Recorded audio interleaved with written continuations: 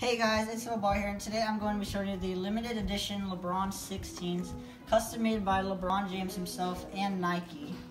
They have high-tech grip, that's what I've heard, and they are high top, but now I'm going to stop talking and show you them. Look at this box. Looks similar boxes, like his last shoes, you know, Nike, all that.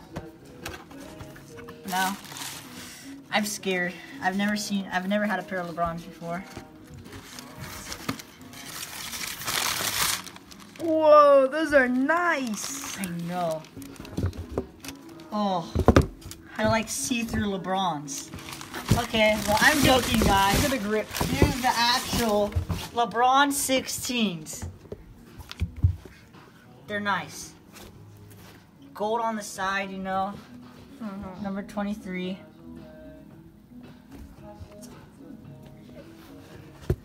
They got that 23, they got that grip.